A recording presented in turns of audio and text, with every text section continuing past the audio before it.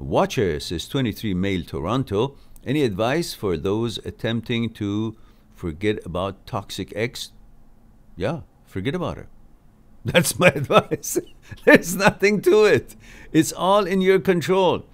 If you focus on who she is, how she is, and that she's toxic, rather than focusing on the stuff that you like about her, which is, I don't know, sex, body, whatever it is that makes you feel, the image you have created by having a girlfriend, even though she's toxic, but you still are willing to put up with it just so that other people say, oh, you know, he's got a girlfriend.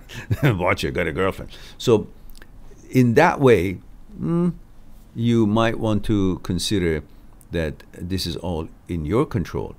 Uh, you don't have to put up with anything.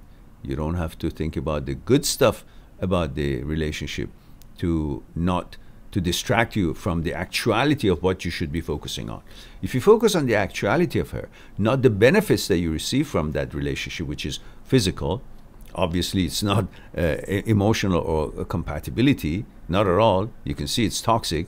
So if you focus on the toxicity of this relationship rather than the french benefits or the momentary uh, I don't know, physical pleasure that you receive, then you will see what is the most important thing and what are you having a relationship with.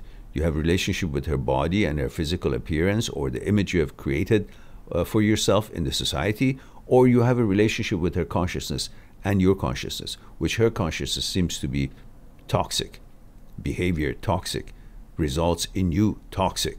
So, what the hell is wrong with you? you're walking on the street, you see some places are smelling like chemical or they're painting or they're burning some leaves, whatnot. You can see it's toxic. You go the other side of the street. Why can't you do it in your own uh, relationships and in your own life? It's just as important.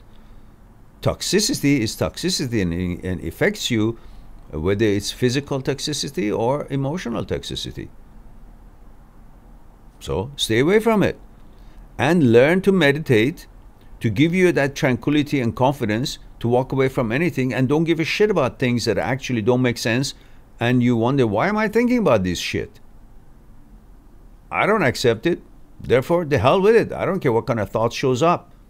Because your level of GABA, serotonin, and everything else has gone up and you're in control. The brain is functioning well. Feed the brain with the right behavior, not wondering, should I move away from toxicity?